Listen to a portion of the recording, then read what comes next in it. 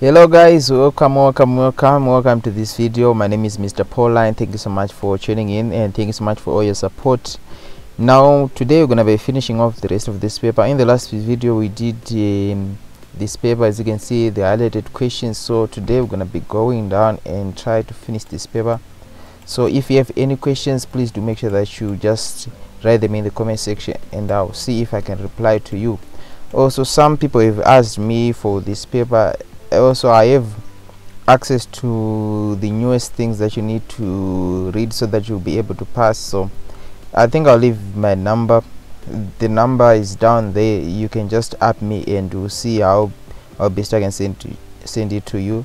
Uh, so i understand that you might need um, driving diagrams. You might need uh, the new diagrams. You might need everything new so that you may actually be able to read and to actually know what's coming. So the point the whole point is to know what's coming and to read what is coming. So it's not just everything that is just circulating. Some of the things that are outdated so you really need to know what is um, what is new and what is current and what is trending in the driving arena. So yes what i'm teaching you is what is new. So uh, thank god for me right? Okay so today we're going to be looking at this paper so I urge you to bear with me here. So now let's begin.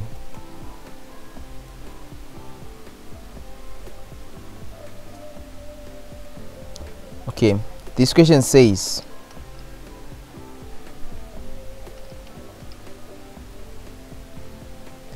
in which circumstances would I proceed against a red robot? Okay so we're talking about a red robot here so let me just uh, underline that so that we know. Here you are proceeding against a red robot in which circumstance? Option a when there is no traffic approaching. So we're saying that uh, let's say that uh, there is no traffic approach would you cross a red robot even though there is no traffic? Definitely this is incorrect right? So even though you might see uh, other cars doing that in the middle of the night let's say that the road are clear. You might see a, a, a car that is going through a red robot. So that's not um that's not lawful. Actually if a policeman catches you doing that it doesn't matter what time of day it is or the road is clear or not. It just means that you are doing things against the law. So you the policeman has a right to what? To arrest you or things like that. So just know that this one is incorrect. Now let's look at the other one when the road is clear on the right definitely incorrect right? So the only scenario that you are allowed to cross or to proceed against a red robot is when there is a green arrow is illuminated in the direction that you want to travel. So this one is our correct answer. So just know that if the green arrow is illuminated in the direction that you want to travel you can proceed against that red robot now let's say the green arrow is eliminated, is illuminated and the green arrow is pointing straight then that means that if you are going straight you can proceed against that what? That red robot right? Now let's say the green arrow is eliminated and it is pointing to the right. It means that if you are going to the right you can proceed. I have heard a lot of students um, uh, mistaking about this but this is a very simple one. Okay just know that whatever direction the green arrow is pointing at that's the car that should go. Not if the green arrow is pointing to the right it means that cars going to the right should proceed. If you are going to the left you are not to proceed. If you are going to the uh, straight you are not proceed. And the green arrow is to be pointing upwards which means that going straight only going straight should proceed. I hope i've made that clear. Now let's move on to the next question right a broken yellow line on the left hand side of the road indicates. So yeah, you're talking about a broken yellow line. So what does a yellow line indicate a yellow, yellow line indicates right uh, the edge of the road right? Okay. a broken yellow line um, demarcates the end of the, the edge of the road right? So let's look at our answers. A broken yellow line on the left hand side of the road indicates option a may be crossed to overtake traffic which is turning right through right may be straddled to overtake cyclists definitely not right? May not be straddled. So here we are talking about a broken yellow line right? So it definitely may be straddled. Okay? So this one is incorrect. So there are two instances that you should uh, straddle a broken yellow line. First when you are overtaking traffic that is turning to the right right? Then uh, secondly is when you want to stop. So you pull off the road you remember i said the broken yellow line um, demarcates the edge of the road. The, these are the lines that are found at the edge of the road right? Remember there is the white line that is found on the center. Uh, the, that white line can either be broken which means you can straddle it you can overtake or it can be what? Continuous. When it is continuous it means that you should not what? Should not uh, straddle or overtake. Then um so we have the yellow line at the edges and these demarcates the edge of the road. These tell the um you can only straddle the broken yellow line when you are overtaking traffic that is turning to the right or when you want to pull off to stop. Now moving on to the next question. A motor vehicle may tow option a any number of trailers. Definitely that's not that's not correct right? B a motor vehicle may tow a vehicle of any size if it is able definitely that's not correct right? C a motor vehicle may tow a vehicle only if it has good brakes okay? So a motor vehicle may tow a vehicle only if it has good brakes. So this one is our correct answer. Now moving on to the next question if involved in a serious accident i must option a report to the police within 24 hours. Now this is the most correct answer here. So the moment you're involved in a serious accident the law requires that you you report to the police or report your case or tell your story to the police within the near within the nearest 24 hours. So just to report to the police okay? Now move on to the next question which car stops? Now here we have three cars here car a car b and car c right? Now just by looking at this let me just zoom in so that you can clearly have a look at this one. This one is a simple one okay? So um, car a car b and car c right? Now just by looking at this you can see that car c has already crossed the intersection right? So car c is not the car to stop. So because it's no we are no longer considering it because it has already crossed the intersection. Now we are left with these two cars and these two cars we have um, car a and car b. Now just by looking at this we need to understand which car is at the right of which.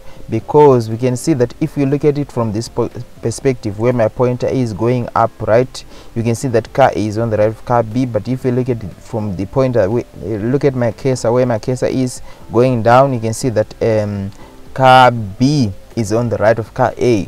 Therefore, you need to look at it from the direction where the cars are coming from to where the cars are going. Definitely the cars are going down, right? So we need to be here where my cursor is looking down, right? So if you are looking down from where my cursor is, you can see that car B is at your right, car A is at your left, right? So we definitely mean that car B is the one to the right. So definitely the car to stop has to be car A. I get a lot of people students confused about this because they don't know which uh, from which direction to look at a white diagram. White diagram is very tricky I understand because um, you don't necessarily know which car is at the right of which. You just need to consider the directions where the cars are going. Okay, and you you place yourself there and you face that direction. Don't face the direction against where the cars are going. Face the direction where the cars are going. The cars are going down here so you need to be here and you need to face the direction where the cars are going so which definitely tells you that car b is at the right definitely car b is the right of way and is not the car to stop. Also a lot of students get confused when we say which car stops what does it mean? Uh, when you say which car stops it just saying that which car gives the right of way or does not have the right of way okay? So you really need to know the terms which car moves first. It means that which car has the right of way okay? Now moving on to the next question which car moves last at this intersection? We have car c car a and car b right? Now just by looking at this you can see that car c gives the right way to car a and car a to car b. Now if car b has the right of way can car b proceed? Yes car b can proceed right? Being followed by car C because they are in the same role so they move at the same time. So car C will take advantage. So the last car to move has to be car A so just uh, take note that uh, car C will take advantage of the movement of car B. So as car b moves here car c will also take advantage and the last car to go is to be car a. So car b does not move last. So remember when you're saying the car that moves last move last here so let me just highlight that moves last. We are talking about the car that does not have the right of way. Okay now uh, moving on to the next question. Which car goes last? Now here i want you to play close attention. We are looking at the car that goes last. When you talk about car that goes last you're talking about the car that does not have the right of way. Now this one is a very simple one because you can just see that car b is facing a giveaway sign. So when you're facing a giveaway sign it definitely means that you can you go last right? So car b is the car to go last. We don't need to spend much time on questions like this. Even if you're in an exam don't spend much time on questions like this?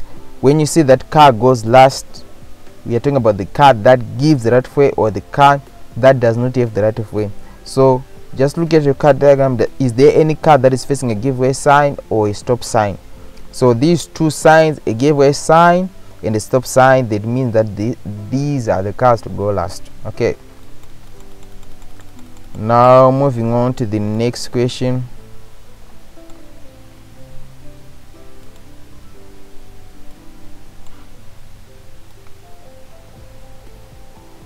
a clutch is used to. Now a clutch is the pedal that um that is operated by your what? By your left foot right? So a clutch what is a clutch used to? Option a increase vehicle speed that's incorrect right? Because we use the what? The accelerator to increase the vehicle speed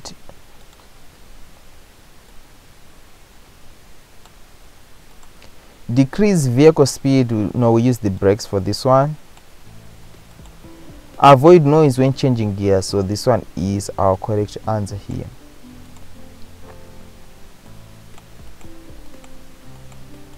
So diverging lanes means so i talk about diverging lanes here. So what does diverging lanes mean? Option a two lanes becoming one. That's converging right? So when two let me just give you a, a visual um, visual aid so that you can understand it. Two lanes right? Two lanes becoming one right? So that's it. Two lanes becoming one then one lane becoming two.